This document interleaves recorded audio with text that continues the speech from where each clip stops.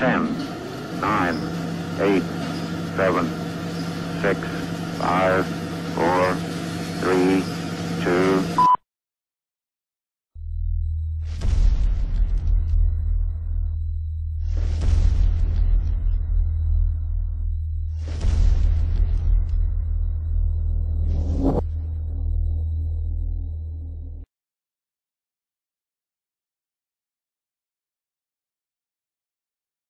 Just Idea team من كلية الحاسبات والمعلومات جامعة بنها الفرقة الرابعة قسم علوم الحاسب.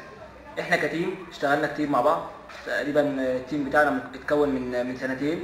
اشتغلنا في مشاريع كتير والمشاريع ديت خدت ترتيب متميز بين المشاريع التانية.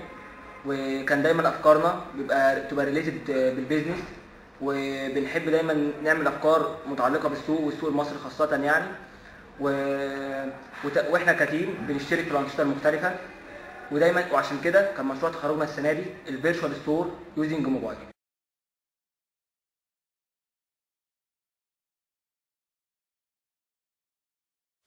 في أثناء دراستنا للسوق المصري لقينا إن المستثمر بتقابله مشاكل إن هو إزاي يبدأ مشروع وإن هو يلاقي مكان ينفذ فيه المشروع ده.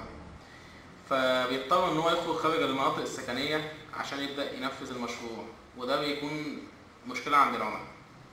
ونيجي للمشكلة الثانية إن المستثمر لما يجي ينفذ المشروع بتاعه بتقابله مشاكل إن هو يلاقي المساحة المناسبة.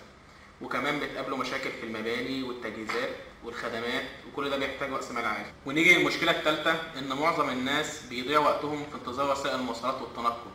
وكمان في ناس كتير مش بيكون عندهم الوقت الكافي إنهم يعملوا شغل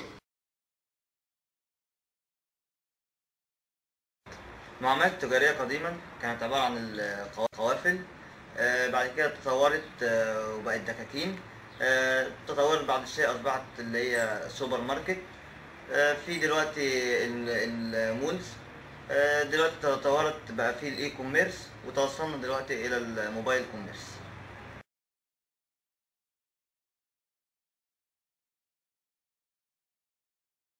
ال mobile commerce كانت البداية فيه سنة 97 لما نزل أول two devices بي enable ال Coca-Cola machine الكلام ده كان في فنلندا وكانت بت accept ال SMS text سنة 98 كان آه، نزل أول content digital على الموبايل وكان عبارة عن ring tones سنة 2000 في النرويج عملوا أول payment لل ticket آه، عن طريق الموبايل. أما في أستراليا فعملوا آه، حجز ال- ال- ال- القطارات عن طريق برضو الموبايل.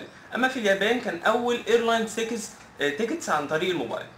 سنة 2002 كانت ال ETSI كلفت هوفمان في موتورولا ان ي develop أول standard لل mobile commerce في العالم. ومصنعي ال mobile phones آه، خلت آه، نزلت أول smart phones آه، وخلتها ت enable فيها ال- ال- web وال emails وكمان حط فيها capabilities عالية زي ال زي ال location based services من أشهر ال services الموجودة على الموبايل هي ال mobile ticketing وال location based services وال information services وال mobile banking كمان نزلوا فيها ال advertising على الموبايل.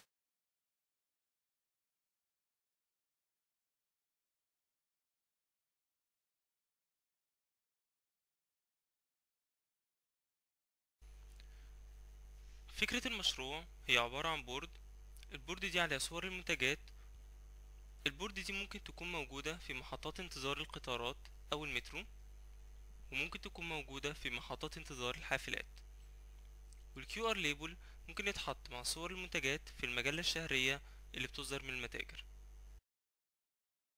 باستخدام application على الموبايل ممكن ال user يختار المنتج عن طريق تصوير ال QR الخاص بكل منتج. ال QR code بشكل مبسط جدا. ال QR code ده stands for ال quick response code وهو عبارة عن 2D matrix أقدر أخزن فيه آه، أي information أنا عايزها آه، من data types مختلفة جدا. ممكن أخزن فيه numeric alphanumeric ممكن أخزن فيه binary إلى جانب آه، إن هو ال capacity بتاعته عالية جدا بحيث إنه يقدر آه، يشيل حوالي آه، 7000 آه، character وده مقارنة بال... لما أجي أقارنه بالباركود طبعا ال capacity بتاعته عالية جدا آه، بالنسبة للباركود على أساس إن إن. على أساس ان ال QR code بيخزن ال data vertical و horizontal أما ال- الباركود بيخزن data horizontal بس وبت- وبتبقى أرقام بس يعني إيه؟ numeric only وفي كمان آه، حاجة ميزة لل QR code آه، إن هو هو ال printing هو بتبقى المساحة بتاعته أقل. باستخدام ال application على الموبايل بيبدأ ال user يختار المنتجات اللي محتاجها عن طريق تصوير ال QR الخاص بالمنتج. ويختار المكان اللي هتوصل ليه المنتجات يا إما لعنوانه أو يحدد مكانه باستخدام ال GPS وبعد كده بيوصل ال request لل system. ويبدأ ال system يختار أفضل فرع للمتجر يتجهز منه ال request بناء على أقرب فرع لل user. وال system كمان بيختار أفضل ديليفري يوصل ال request بعد كده بيتم تجهيز ال request ويوصل ال delivery لل user.